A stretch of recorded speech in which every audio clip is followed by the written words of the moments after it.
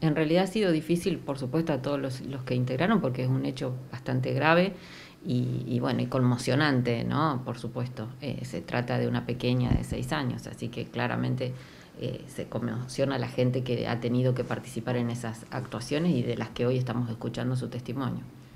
¿Cuál es la carátula de esta causa?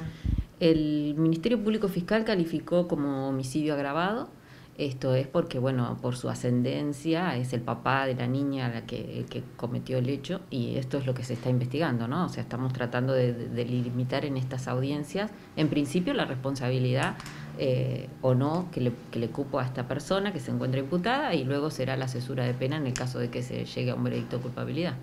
¿Qué pasa con la figura de fidicidio?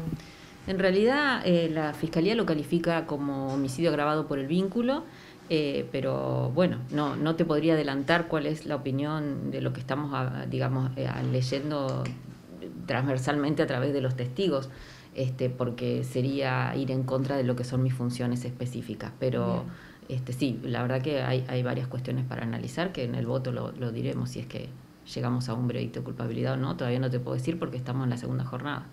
El día viernes serán los alegatos finales. Sí, no, en realidad contarle a la gente que los juicios se están llevando a cabo a pesar de todo lo que nos pasó y de la pandemia. Eh, y también que se trabajó durante todo este tiempo.